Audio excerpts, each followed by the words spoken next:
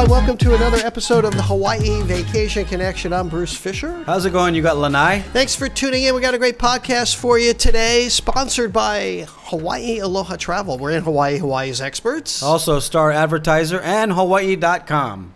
We got a great show for you today. We're going to be talking about food in Hawaii, one of your favorite topics. Yes. And some suggestions for things for you to eat. We also Yes. have tons of people have been on the Facebook page Uh-huh. posting food that they think they want to eat or that their favorite foods are. So I want you to comment on some of that. All You got to right. be honest. You got to be Yeah, honest. I'll be, with I'm always honest. That's right. So we're going to be talking about that, and also we're going to be talking about how to get around in the islands once you come here. yes. You know, sometimes you may want to rent a car, and there's things you need to know when you're traveling in between the islands. because we have some stories of people who thought Hawaii was this big and they didn't rent a car and they were on the opposite side of the island. I know. I mean, Remember so that story? stories. Yeah. Oh my couple- gosh. Couple good ones. All right, so you're coming to Hawaii, and one of the things you have to do is eat, right? It's part of the culture. I think anywhere you travel in the world, what I do is I always look at where I'm going to go and eat.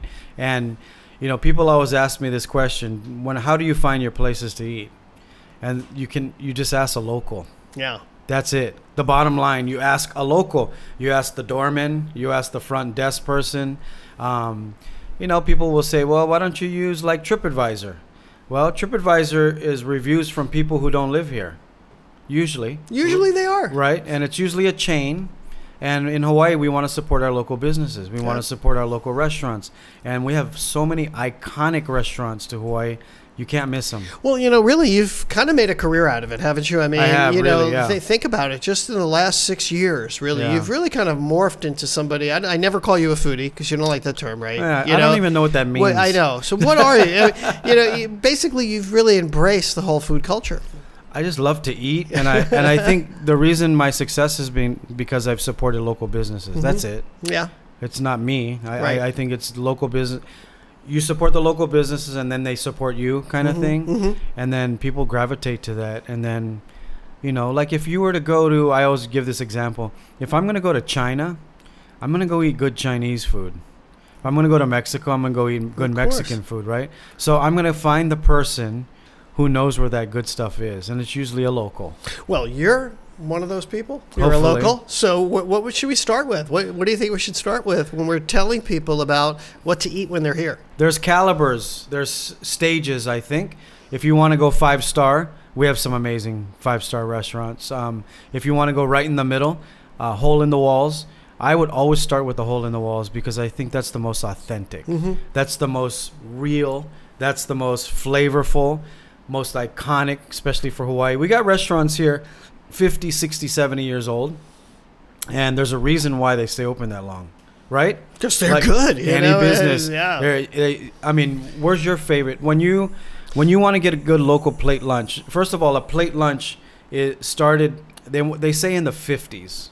Uh, in the 50s, late 40s, a plate lunch consisted of two scoops rice, mac salad, and then chicken, fish, beef, or whatever the hot meal that you. Yeah, double carbs, pretty much. What's your favorite plate well, I have to say, you know, knowing you has really kind of influenced me a lot. Yeah. So I love Jane's Fountain, those kinds of places. Yes. You know, all the places you've suggested. you Jane's know, Fountain. Ethel's Grill. I mean, you know, Jane's Fountain is uh, 80 years old, over 80 years old now. It's it a looks hole it. in the wall. It looks it too. Yeah. I mean, and, and we don't want them to change it, which is kind of cool. Yeah, yeah, Yeah. So those kinds of things, and you know, being influenced by just doing this this podcast with you all these years, you know, I've been influenced by that. Um, you know, my, you know, a go to is always Hawaii Inn. You know, Highway, Highway Inn. Inn, Highway. Inn is always a go to. Good, hi- good Hawaiian food. yeah, That's so, good Hawaiian food. And there's a difference. I want people to understand. There's a difference between Hawaiian food and Hawaiian style food. Hawaiian food was very simple and basic. It was fish, poi, and some fruits and vegetables. That Mhm. was it. And then you had the Chinese who came to Hawaii in the 1790s who introduced us to rice and noodles. Right. So that's really when it changed. And then the Japanese in 1806, they brought us their foods, and then Filipinos and Koreans. So you have Hawaiian style food, which started during the plantations, and then you have Hawaiian food, which is the basics fish and poi. Um, and when you talk about Highway Inn, they've been open since 1947 and second generation now. That's authentic Hawaiian food. You have Helena's, which is a James Beard Award winner. Doesn't get more authentic and than these that. are, I would say they're hole in the walls, Oh, but, they but, are. but you know, they're, you know they've matured kind of yeah, in a way. But they are hole in the walls. When when you say hole in the wall, there's you know there's not more than ten parking stalls, and there's probably ten tables. yeah, You know, and it's family owned. It, there's no there's no chain. and they have their Um, specialties. They do. They You know, really they do. each have their own way of doing it. Like you know, when you think of loco moco, there's a million ways to make loco moco. Yeah. But I could go in all these places, and the gravy is different in every one. Yes. right. It's And all about the key. gravy, right? And it's Gravy like every time And- it's delicious. Yeah. know, so, So, and for those of you who don't know what a loco moco is, loco moco was invented by uh, some surfers on the Big Island, and they didn't have any money when they got out of the water. And Auntie was closing up shop, and they said, "What do you have left to eat? You know, I only got like a dollar." She said, "I got a hamburger. I'll fry it for you and put some rice, put it on some rice, and put some gravy on it." all right. So we got these comments. and they said, "Well, let's put eggs." Oh, that, that, I'm That's sorry. how the Loco Yeah, came That's how about. it just it was just like that. Wasn't Yeah. it a group? Was it was that baseball team, right? And There's all stories, but it was surfers. Was it in here? Did it In really? Hilo. get in- yeah, it was in- sur- it was some surfers that came Yeah. up with it. Yeah, I was getting distracted here Yeah. because you know we're talking about food here, and before the podcast we put it up on our Facebook page, and we've got over 300 comments from people Yeah. about what they eat. So let's see if it's uh, if they're uh, Lanai approved. Okay, so the question was if you could eat only one thing from Hawaii right now, what would it be? And I mean, there's just so- so one was there's never a bad meal anywhere in Hawaii.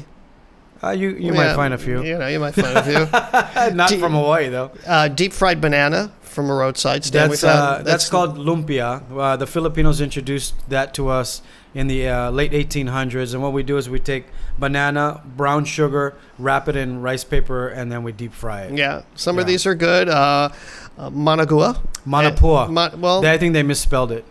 Yeah, mon- yeah, Manapua right. and yeah, pork hash. Yeah, Manapua Yeah. pork. I didn't know. Yeah, Manapua and pork hash. yeah, of so course. manapua is a, a bun, baked bun. yeah. Yeah. you might be familiar with it if you're on the mainland. If you went to a Chinese restaurant had dim sum, it's called a bao. Um, there's two different stories for it. Uh, one story that pops up the most is it was a piece of bread, pork on top, with a mound of pork, and the Hawaiian called it manapua, mound of pork. Pua is pig, and it was mispronounced to manapua. And whenever you eat a manapua, you always eat pork hash with it. It's just they go hand in hand, and that is like one of the five things they say you should have when. you Oh, here's a great one: a Costco hot dog from Waipio warehouse. Oh, jeez. just kidding, just kidding. No. Did they really say that? Somebody really said that. Oh, they that. were joking. Somebody, they must be really joking. Um, pineapple. People talk a lot about pineapple. By the way, pineapples are not from Hawaii. They Right. were brought over by a guy by the name of Francisco. I think it was Del Mar uh, Marin, and he introduced uh, pineapples, coffee, cacao, and a bunch of different other fruits that we didn't have to the king.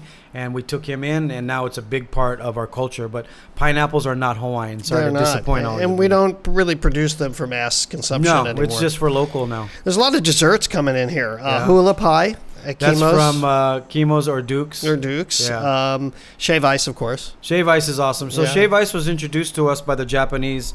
Um, they really came up with it during the Edo period in, in Japan. Edo period was before it was named Tokyo. They would take blocks of ice from Hokkaido and they would shave it and put syrup on it. It was more for the emperor. It was like a treat. And then no, they came over and worked on the plantations and it was hot. And they said we need some shave ice, so they would shave the ice. And we have some amazing shave ice places here, over 50 years old. Um, Waiola Shave Ice, Matsumoto Shave Ice, Shimazu, Baldwin. Um, go and visit these hole in the walls. They're still the same as they were when my grandparents used to take Yeah, me. there's a million of them here. All some really good. So get over to our uh, Facebook page, Hawaii Aloha Travel. Ch- uh, chime in there. We ask questions almost every other day. Yeah. Talk about stuff, and it's helped to share that stuff. we should post uh, like five places to eat Yeah, shave ice, five yeah. places to eat manapua. Let's do that. Yeah, Let's weekly. do that. Now we got a deal coming up here, and we also Yes. going to continue on here. What is the deal that we got going right now? so make sure you check out our deal uh, for this podcast. The uh, keyword is um, it's uh, Hawaii. it's Hawaii. So it's ITS Hawaii. Just check it up here on the screen. We're going to give you uh, up to $200 off on your next Hawaii vacation. The deal includes a $100 activity credit, which you can use for any activity in our selection of excursions, and up to $100 of any vacation package book valued at $1,500 or more. Just go to our website. It's hawaii-aloha.com slash promo, and we'll hook it up for you. yes, thank you, Lanai. Of course, check it out and save some money. That activity credit is great. All right, so another topic that comes up a lot, you know, in, in dealing with travel and coming to Hawaii is this whole idea of how to get around in the islands and what to do when you get here. I mean, how do you get around? Yeah. So I wanted to touch on that a little bit. You know, first of all, everybody needs to understand to get to Hawaii, you really do have to fly. I mean, there's no other way. You can come here by boat. you come on a cruise, yeah. Yeah, you can come here by a cruise, but really the, the most popular way for people to fly. And believe it or not, people still need to understand that to get between the islands, the only way to do it, except for you know a couple that little ferry that's there, but Yeah. generally you got to fly Yeah. between the islands. And you you catch uh, we have Hawaiian Airlines, we have Mokulele Airlines, we have Southwest now, um, and the price war has begun, especially uh, recently. Yeah. So it's pretty cheap to get island to island. Yeah, it's it's you know I figure it's any you know I, I my rule of thumb is between sixty and hundred bucks to get in between the islands, yeah. and you know you got to figure that out. But when you're traveling between the islands, you got to give you got to realize that it's probably going to be part of a multi-island trip. Yeah. So you're going to be going to more than one island. So make sure that you have enough time to do a multi-island trip. We've talked about that before, but um, once you get to the islands, each island has their own thing going on. First of all, do you think everybody needs a car on every island? I think certain islands, Oahu, you don't need to because I think Oahu is good for Uber, Lyft, uh, that type of thing. And if you're staying in Waikiki, everything is there. I notice a lot of my guests, they'll if they're staying in Waikiki, they'll rent a, and they're here for a week, they'll rent a car one or two days to go around the island. If you're on Maui, Big Island, or Kauai, you need a rental car. Um, bus service is far and few. Um, they have shuttle service to certain things. Um, if you're going to book a tour, then you can do that. But if you want to be free, you got to rent a car. Yeah, Yeah. I agree. I agree. Um, I think that more and more so.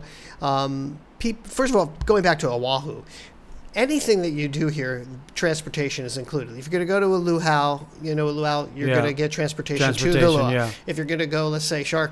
Uh, shark Cage Most activities. Yeah, yeah. Whereas on other islands, they, we just don't have that. And Yeah. also on, on each of the other islands, the airport is pretty far away from the centers where people stay. Yeah. So it's a long drive if you're going to get transportation. You know, very often, like in Maui, or if you if you if you're not going to rent a car, which is the only island I would say you could might be able to get away with it, but still, to get from the airport to Kaanapali, Everywhere is far. It's yeah, it's Yeah, like 50 from minutes, and there- it costs money. It's cost like you know, it's going to Yeah, be like 100 bucks. You might as well if rent you, a car. If you um, if you're going from the airport in Kahului, which most big major flights fly into, and you're staying in Lahaina, you're talking about 50 minutes to an hour with traffic.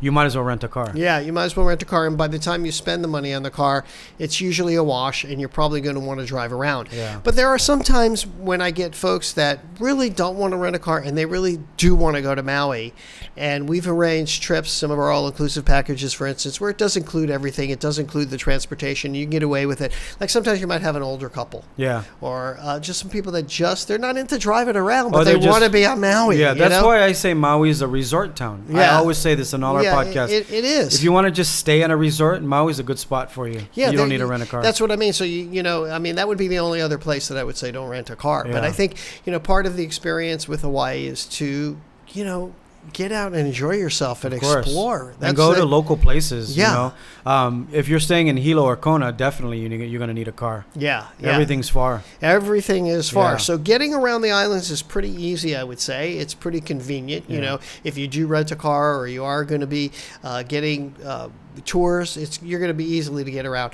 Um, one thing that I do want to mention though is that parking is always a factor, and parking Yeah. in Oahu is crazy. Do you guys do you guys uh, do packages? Yeah, yeah, we do. No, for parking. Never Do includes hotels- parking. no, Never they don't, right? No, I don't know if it, you know why because these hotels are farming out to other companies. Yeah, and a lot of the hotels too. If you look at Waikiki, there's not a lot of parking. No. So it gets expensive. Yeah. That's a tough one for Waikiki for sure. But just remember, you ain't going to get Gilligan's Island. You, you need a car.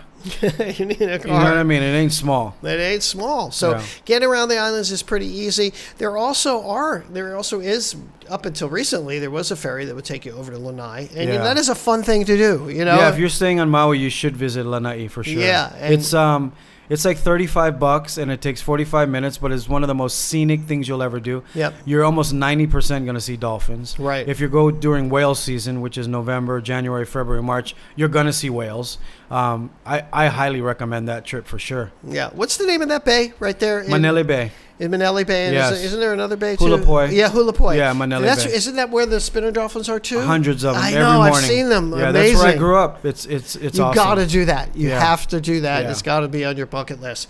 So, you know, keep all of this in mind when you're traveling between the islands or you're traveling to islands about getting around. It's an important consideration when you're planning your Hawaii vacation. for sure. All right, kids. Hopefully, this helps you out Yeah. and you'll be here soon. Don't Check forget- out our deal of the day, hawaii-aloha.com forward slash promo. Yep, and check out our website, hawaii-aloha.com. Lots of information there, including some of our back episodes of our podcast, and you can just interact with us. You can also give us a call, you know. Yes, what's the number? 800 843 8771.